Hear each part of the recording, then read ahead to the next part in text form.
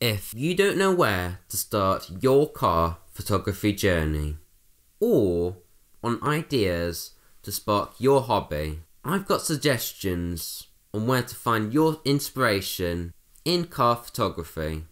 Try another genre. I started taking pictures of my dogs for an Instagram page. From the dogs relaxing to the pooches playing in the park, I had a fun time of switching my strategy. Many of your skills from other categories can translate well into capturing images of motors. Follow other car photographers. Creating an Instagram account to discover other people in our community helped me find inspiration for my photo shoots. Don't just follow the popular channels in the car photography journey. Observe and interact with other users on their posts.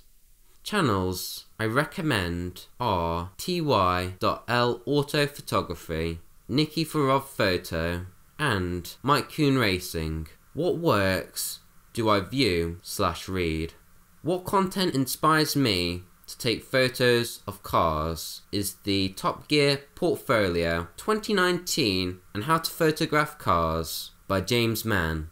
The Top Gear portfolio has breathtaking images of cars across the world. How to photograph cars helped me to understand composition, location, and studio photo shoots. Finally, if you want to edit stunning photos on Lightroom, I recommend watching Mozanil How to Edit Car Photos in Adobe Lightroom tutorial.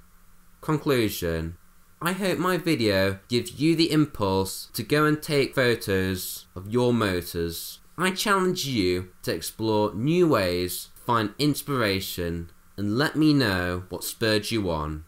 If you like my video, please like, comment, and subscribe. Please share my posts, then visit my social media sites for more car photos. On that bombshell, goodbye. Thank you for Mike Kuhn Racing, TYL Auto Photography, and Nikiforov Sergey Photo for letting me use your photos.